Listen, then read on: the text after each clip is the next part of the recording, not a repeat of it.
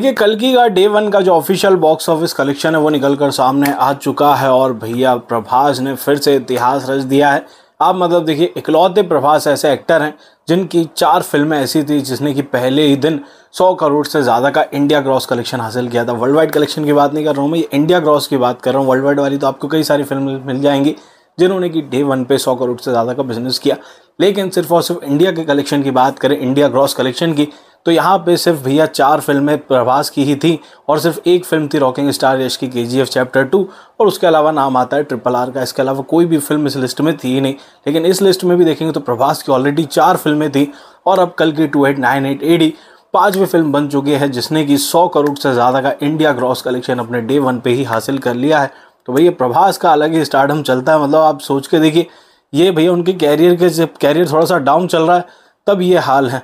जब पीक पे चलेगा तो पता नहीं वो क्या करके जाएँगे। मतलब सोच के देखिए, आप आदि पुरुष आई थी, आदि पुरुष ने भी धमाल मचाया था, जबकि कितनी ज़्यादा नेगेटिविटी हुई नेगेटिव रिव्यूज़ थे वो तो फ़िल्म ही बेकार थी। उसके बावजूद उस फ़िल्म ने कलेक्शन हासिल कर लिया था अच्छा खासा डे वन पे मतलब अलग ही फाड़ देते हैं भैया प्रभास तो। और उसके बाद देखिए, सलार आई राधे श्याम आई मतलब ये कैरियर थोड़ा सा प्रभास का यूँ नीचे जा रहा था ग्राफ उसके बावजूद भी देखेंगे, कल की two eight nine eight AD पहले दिन सौ करोड़ से ज़्यादा का इंडिया क्रॉस कलेक्शन करने में सफल रही। जहाँ पे हिंदी का कलेक्शन की बात करें तो हिंदी में फ़िल्म का कलेक्शन रहा 22.50 crore rupees India net India gross collection रहा था फ़िल्म का 27.50 करोड़ हिंदी का। और बाकी सारी लैंग्वेज मिलाकर वर्ल्ड वाइड कलेक्शन की बात करेंगे तो सभी भाषाओं का मिलाकर वर्ल्ड वाइड बॉक्स ऑफ़िस पर फ़िल्म ने अपने पहले दिन 190 करोड़ रुपए का कलेक्शन हासिल कर लिया है। तो वही अलग ही जलवा चलता है। प्रभास का वैसे भी देखेंगे तो फ़िल्म सभी को काफ़ी ज़्यादा पसंद आ रही।